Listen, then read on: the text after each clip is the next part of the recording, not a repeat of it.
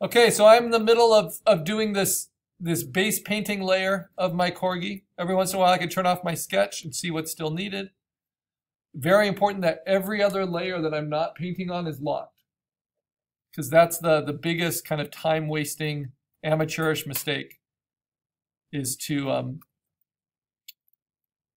accidentally spend a lot of time painting on a layer that's not what you intended.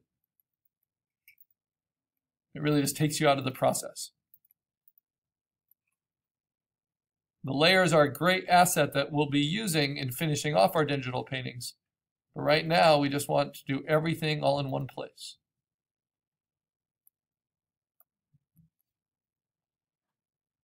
Now, every once in a while, especially as you start to finish up your base painting, you want to look at your navigator and kind of see what it looks like from a distance.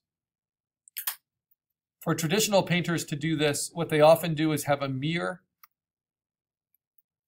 a little handheld mirror with them um, on their easel so they can look at their painting through the mirror to kind of turn it around and also to see it from a distance. And especially when you're doing uh, portraits, sometimes you need to reverse it every once in a while.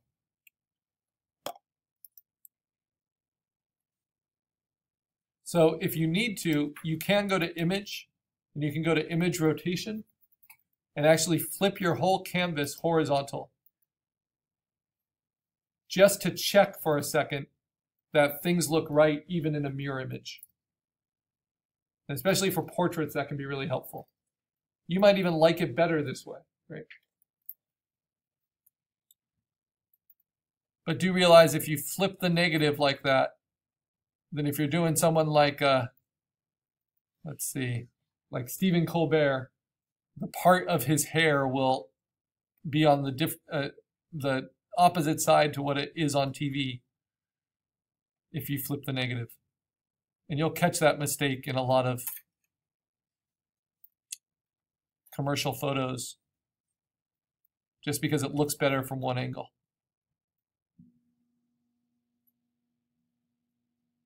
It is rumored that Jimmy Carter uh, parted his hair on the left side when he started his presidency and realized that his poll numbers were going down, his popularity was going down, and one image consultant said he should part his hair on the other side because it would look better in photos. And he did, and he got a lot more positive coverage. But then he lost his bid for reelection, so who knows?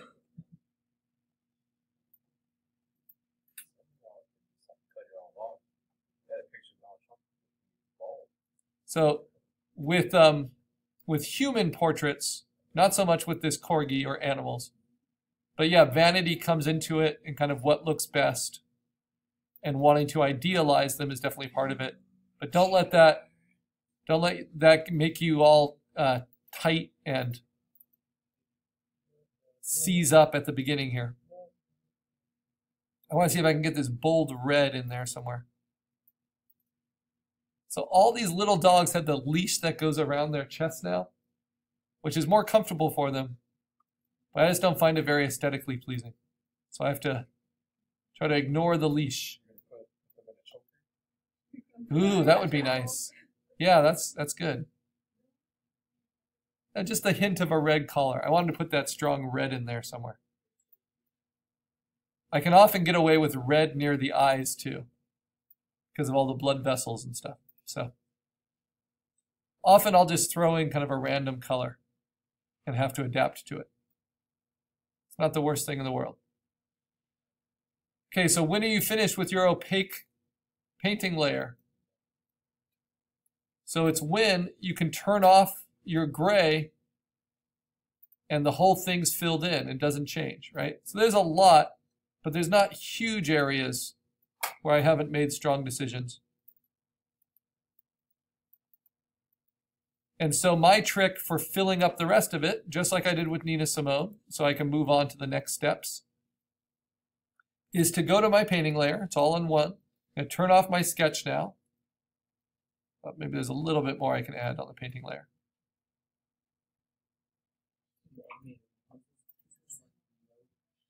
depth of color. You're li- I'm about to add later, bro. You have to add flat color. Oh. Bro, has no shadow ass. You have to add flat color first. All right. So what I'm going to do now is turn off my sketch layer. I'm not deleting it. I'm just turning it off. Then I'm going to use use my um, magic wand with contiguous turned on. Select the empty space around this painting. So I just get kind of a silhouette of my big paint blotch. Go to my gray canvas, unlock it so I can make a duplicate. Duplicate that shape. Whoops, I have to invert it. Select inverse. It's like doing the cookie cutter of the cloud, like we did way back when in assignment four. And then hit Command J. So what do I get? I get a silhouette of my paint strokes in gray. It's like toning the canvas. And now I have a nice base paint layer for my corgi. I'm going to go ahead and lock them and turn off the gray layer for now. You can lock it and then turn it off. Then I'm going to go ahead and lock my base paint layer and save it. So file, save this as Karl, assignment 9, Corgi digital painting. Now, this is actually a great way to do kind of rehearsal paintings, sketch paintings. And I might do a much bigger painting of this dog for my friend. And I might do it with crayon or with watercolor or with markers or with oil paint. But this introduces me to the colors, the energy, some of the things that I like about it, the things that are going to be challenging. It's all here already. So now I'm going to close this one. I'm going to open back up my Nina Simone, which I stopped at the same step. And now we'll go on to the next step, right? Which is building soft edges and duotones and basically blending together those different flat base paint layers where they need to be smooth and blended together. So obviously this is very, this looks very crayony, right? Lots of hard edges all overlapping. So now I'm going to lock that layer. I'm going to lock every layer. I think I want to build this one up on gray. So I'm going to keep the gray visible. And then on top of the flat color layer, I am going to, to duplicate it. This is one thing we can try. And I am going to soften it. Filter, Gaussian blur.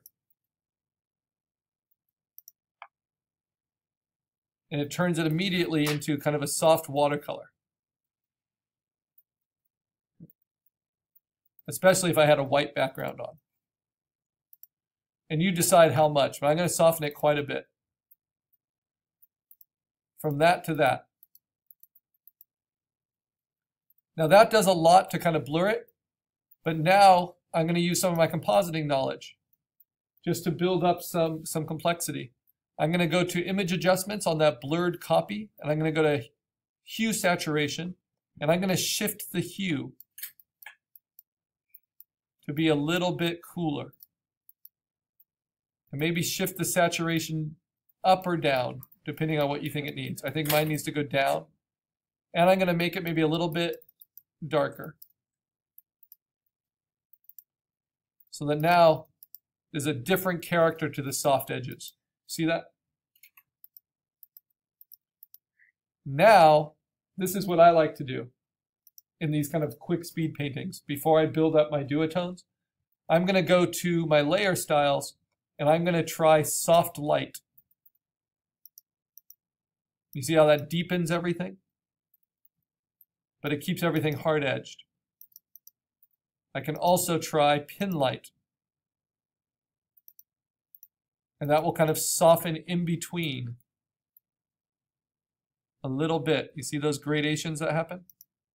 especially those areas you didn't fill in fully. And then, of course, I can try things like overlay for more drama. And then I can play with opacity. Or I can just keep it at normal and play with the opacity. So from that,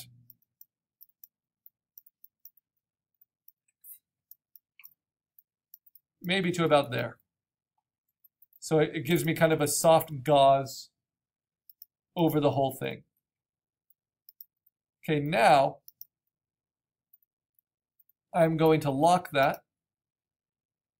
If I guess to help uh, understanding it, I'm going to call this a softened base paint layer.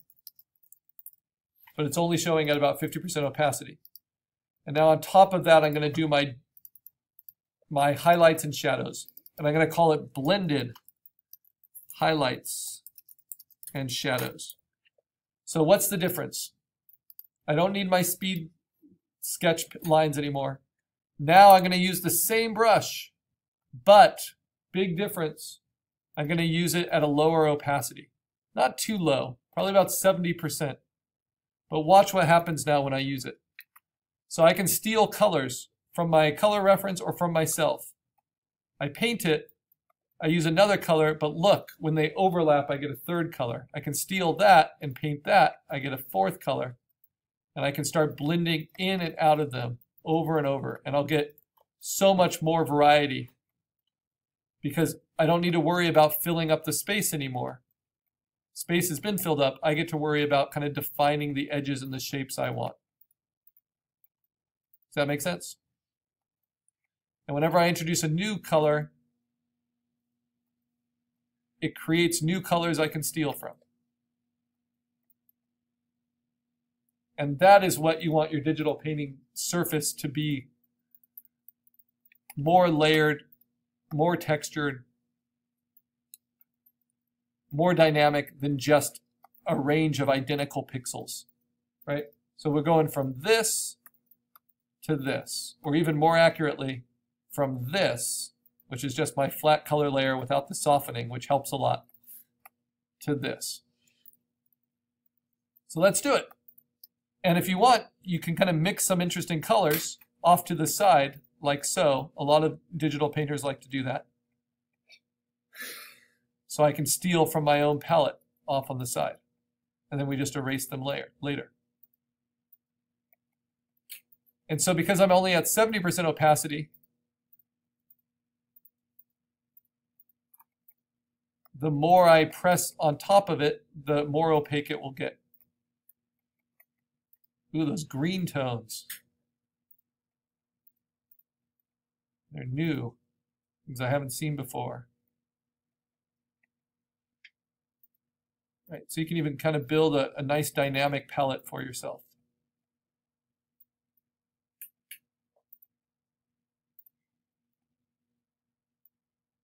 From white to, to what's going to work for black for you.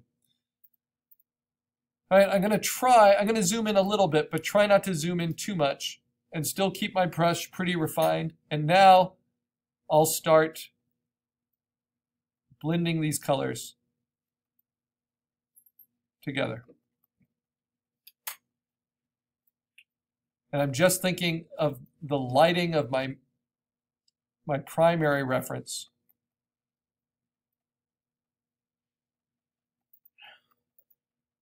And as I blend in a direction, I'm going to try to follow the shape of the face.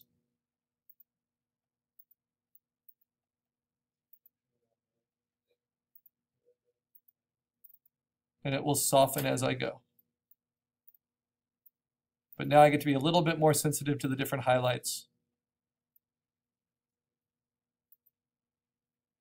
And it's kind of like sculpting. You're defining your shapes and outlines as you go. Remember, white is a choice of paint that we use here. So it's not just the background showing through. We're painting it on top. And if you need the gray behind you to remind you of that, that's fine. Oops. So remember,